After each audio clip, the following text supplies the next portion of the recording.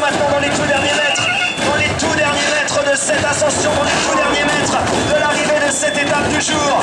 Et la révolution qui est venue du côté de la délégation française. Est-ce que Clément Champoussin a réussi à revenir? On va pouvoir dans quelques instants accueillir les coureurs de cette édition 2019 avec Mauri Van Sevenant, avec Harold Tejada, avec Clément Champoussin. Ce sont les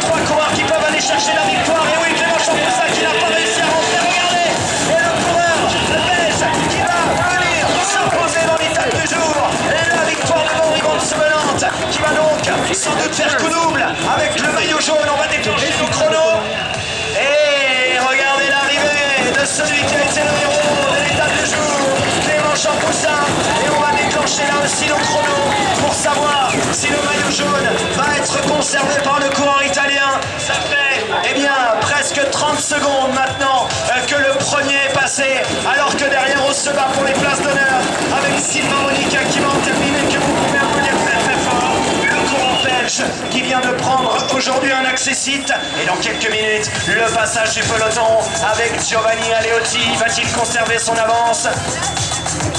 Et nous sommes à la flamme rouge, à la flamme rouge pour le groupe maillot jaune.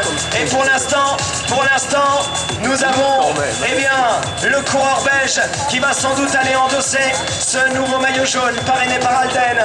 Ce n'est plus qu'une question de secondes. Il avait 1 minute et 20 secondes de retard au classement général sur Giovanni Aleotti. La réponse dans quelques secondes maintenant lors de l'arrivée du peloton.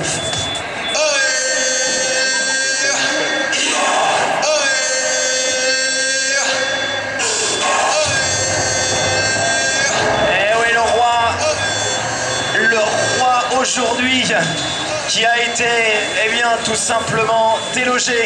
Giovanni Aleotti, le coureur qui s'était lancé avec le maillot jaune de leader, qui va donc perdre cette unique. Ça y est, c'est fait, plus d'une minute 20. Le nouveau maillot jaune qui va changer d'épaule et dans quelques instants, le coureur italien ainsi que pas mal de coureurs hein, de l'équipe de France euh, qui étaient tout à l'heure recensés dans ce peloton euh, vont nous rejoindre. J'espère, public de la Gita, que tu es prêt à applaudir ce peloton, ces héros de cette première étape, cette première explication en montagne, cette étape 100% savoyarde. Et les voilà, les voilà, le peloton qui va en terminer et qui accuse eh bien, un retard de plus de presque deux minutes, presque deux minutes de retard, une 55 de minutes. On va faire le point ensemble et, bien, tout simplement sortir le chronomètre officiel de Tour de l'avenir, savoir quel est l'écart exact.